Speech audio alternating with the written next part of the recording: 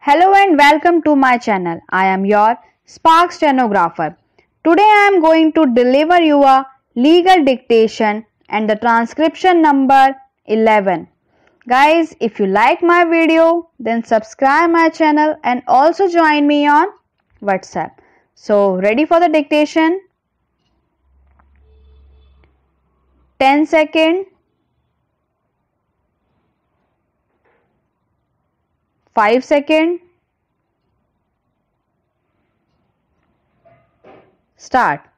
Now the question that backs consideration in the light of the submissions advanced across the bar is whether the principle of natural justice were observed in the complaints or not. As stated herein above Rule 81 of Rule 1976 does prescribe observance of the principle of natural justice. From a close scrutiny of the inquiry report dated 29 October 1993, it transpires that the inquiry officer has found the petitioner guilty on the basis of the reply to the charge sheet submitted by the petitioner and other documents, but not a single witness was examined by the inquiry officer in the presence of the petitioner, and also no date, time, and place was fixed by the inquiry officer. It is not discernible from the inquiry report that the petitioner was never granted any opportunity of personal hearing or cross examine the witnesses and in the circumstances. There appears to be non complaints of Regulation 81A of the 1976 rules which enjoins due observance of the principles of natural justice. In this connection, Article 14 of the Constitution of India may also be referred which clearly postulates that authority competent to pass orders is required to record reasons, which is one of the principles of natural justice governing exercise of power by the administrative authority.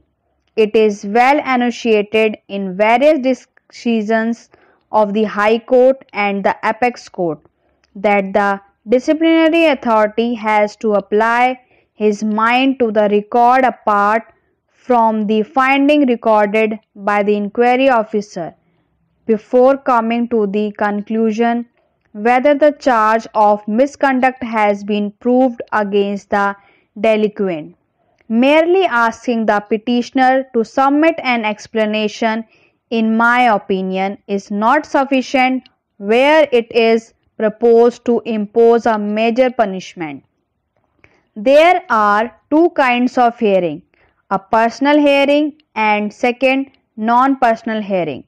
When it is proposed to impose a minor punishment such as withholding of increments or a fine or warning, a non personal hearing would suffice.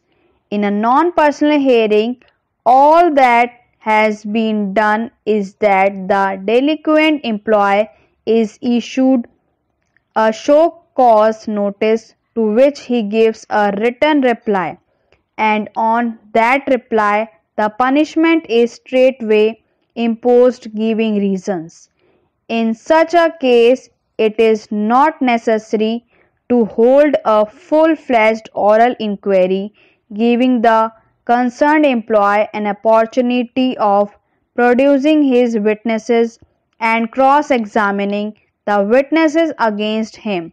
However, when it is proposed to impose a major punishment like dismissal, ordinarily a full fledged inquiry must be held. This is because a major punishment not only has very serious consequences upon the employee but would adversely affect the family. Hence, the law imposes a stricter and elaborate procedure requiring a full-fledged oral inquiry in cases of major punishment.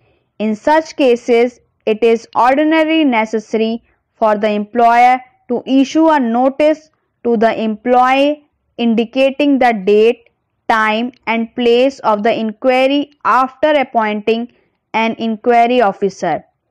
On the date and time fixed, the witnesses against the concerned employee is required to be examined ordinarily in his presence and he must be given an opportunity to cross examine them.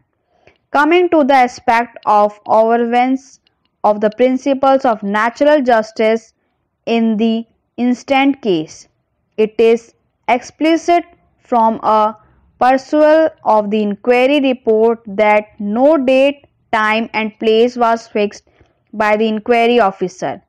As stated here in above, it would crystallize from a perusal of the inquiry report that the disciplinary authority did not reckon that the inquiry officer did not fix any date, time, and place, and no witnesses was examined by the inquiry officer. The apex court has rapidly emphasized for observance of the principles of natural justice. In Meenglas Tea Estate v. Their Workman Air 1963 SC 1790 the Supreme Court propounded in clear words that it is an elementary principle that a principal who is required to answer the charge must know not only the association but also the testimony by which the association is supported. He must be given a fair chance to hear the evidence in support of the charge and to put such relevant questions by way of cross examination as he desires.